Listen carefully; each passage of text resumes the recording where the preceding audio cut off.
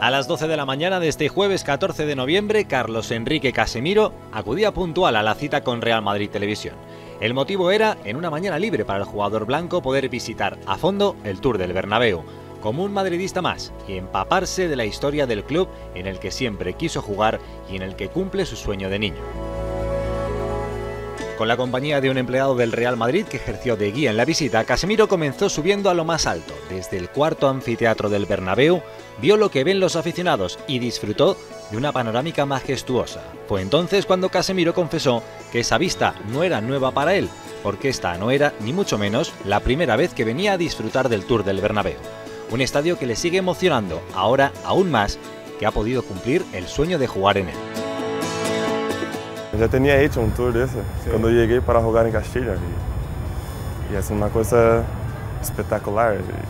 A mim me encanta o estadio, principalmente na grandeza, que é muito grande. e y na outra vez quando tinha tinha hecho um tour desse, quando eu tinha 17 anos, e jogava em São Paulo ainda. Nosotros vimos jogar um, um Mundial Sub-17 aqui Sub-18, pero yo tenía, yo tenía 17 e tenía hecho un, tour desse, mas. pero e me encanta. Toda vez que, que entro nesse estádio é um sonho para mim. Jogar nesse estádio é um sonho para mim. É, como, como eu tinha dito, é, um sonho para mim jogar em Real Madrid. Quando eu tinha 17 anos e vim em tour de, de, Real Madrid jogando em São Paulo, eu tinha falado depois para minha madre que queria jogar em, em Real Madrid, jogar nesse estádio. E bom, agora estou realizando esse sonho e, e para mim é uma coisa incrível, uma coisa não tem não tem explicação da, da, do que está acontecendo e e bom, estou trabalhando muito, muito forte para para aproveitar as oportunidades que, que vienen. Obviamente la presencia del jugador del Real Madrid no pasó desapercibida entre los aficionados que, como Casemiro, realizaban el tour.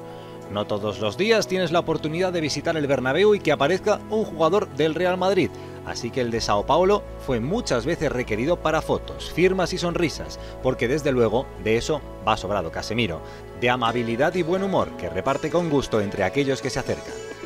Y fue llegar a la parte interactiva del museo y descubrir la admiración, casi veneración, por dos futbolistas que hicieron historia con el Real Madrid, y uno de ellos lo tiene bien cerca Casemiro, Ronaldo Nazario y Zinedine Zidane.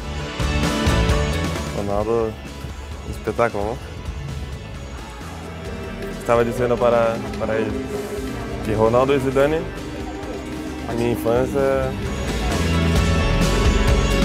Y hablando de ídolos, no quiso olvidarse Casemiro, del que hoy es sin duda el de todo el madridismo. Desde luego que Cristiano Ronaldo tiene en Carlos Enrique su fan número uno en su propio vestuario.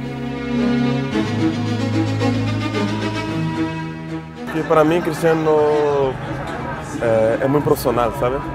Você, você acha três gols em uma partida, no dia seguinte você vai treinar, você treina sério, você treina muito profissional, sabe? Você treina todo dia, sempre do mesmo jeito, sabe? Sempre, sabe?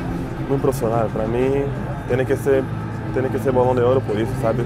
Merece, sabe? Tem, tem ganas de, de, de aprender mais. De... Cristiano sempre, sabe? Se, se não hace se tem uma partida que não hace gol, se treina bem. Se tem uma partida que hace três gols, se treina bem. Cristiano, dois gols, treina bem. Cristiano sempre o mesmo, sabe?